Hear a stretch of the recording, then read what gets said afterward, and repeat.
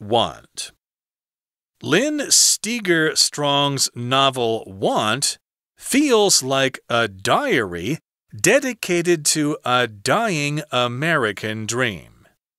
The book comes at a time of anxiety in the U.S.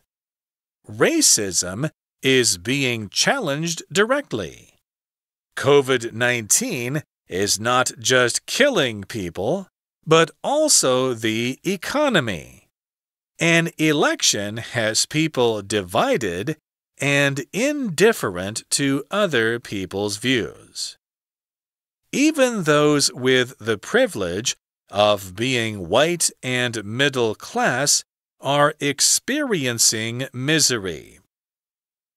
Children of the 1980s, often told they could follow their dreams, are realizing that this is far from realistic.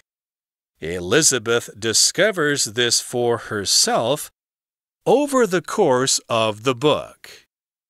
Even after checking all the right boxes, she still can't make her dreams happen.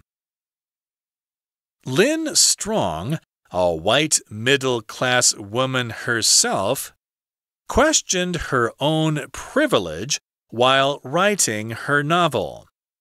She recognized how it would still help her even while she was suffering.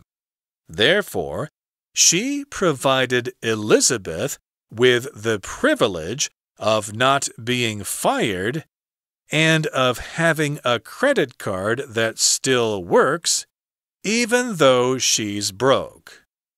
She showed the reader that even in a time of crisis, those with privilege still somehow manage to stay afloat.